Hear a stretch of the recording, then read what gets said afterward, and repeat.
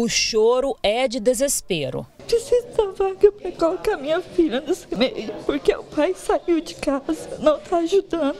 Eu estou desempregada, surgiu uma proposta de emprego, mas eu não tenho quem deixar minha filha e eu preciso trabalhar para sustentar eles. As aulas já começaram e, mesmo assim, o movimento de pais na Secretaria de Educação ainda é grande. Pessoas que praticamente imploram pela educação pública de Aparecida de Goiânia. Está com oito meses. A, a menina lá tem, tem vaga lá e, e eu preciso.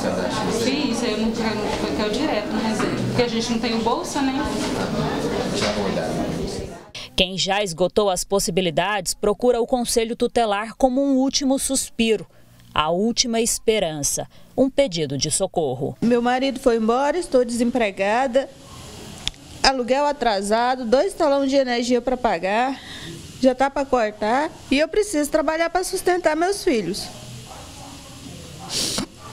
Se eles passar fome, o conselho tutelar vai me tomar. Se eu for trabalhar e deixar uma bebê desse tamanho sozinha, com os outros, a uma de cinco e a outra de sete, eles vão me tomar também. Preciso muito dessa vaga para ela, para mim trabalhar. Minha última esperança, já fui em tudo quanto é lugar já. Cerca de 30 mulheres procuram o Conselho Tutelar todos os dias. O pedido é o mesmo, vaga em CEMEI e em período integral. Mas apesar do esforço dos conselheiros, não há nenhuma garantia que todos os pais consigam. Vindo ao Conselho Tutelar, inicia-se um processo, né? A gente é, faz um ofício, encaminha junto à, à, Secretaria Municipal de Educação, posteriormente a gente dá um prazo para resposta, né?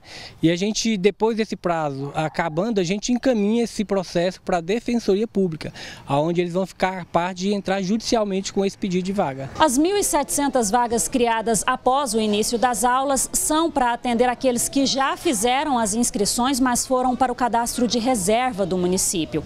Essas vagas são para crianças de 4 e 5 anos e estão distribuídas em CMEs e escolas com convênio que ficaram com salas desocupadas mesmo depois que as matrículas foram confirmadas.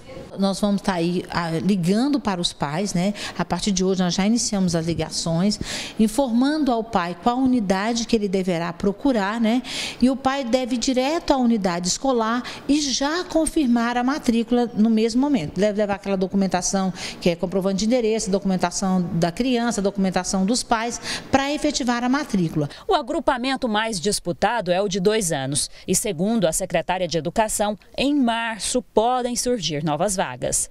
De seis meses a três, a três anos, nós vamos chamar um pouco, porque nós conseguimos abrir algumas vagas também junto à rede conveniada. Então, nós estaremos chamando agora e pós-carnaval também nós vamos chamar um pouco mais. Nós estamos organizando algumas vagas aí com algumas instituições também. Então, assim, nós estamos trabalhando. Dá para atender todo mundo? Não. Mas estamos trabalhando para ofertar o maior número de vagas. A divina, que apareceu chorando no começo dessa reportagem, foi atendida na secretaria e conseguiu a vaga. Deu tudo certo. Agora estou só esperando o documento para eu poder ir à creche e matricular ela. Está mais aliviada? Tô, agora estou mais tranquila. Enquanto as matrículas são ou não confirmadas, outras vagas devem ser liberadas no sistema. A torcida fica para que elas cheguem até quem realmente precisa. Eu só quero trabalhar para sustentar eles. Só isso que eu quero.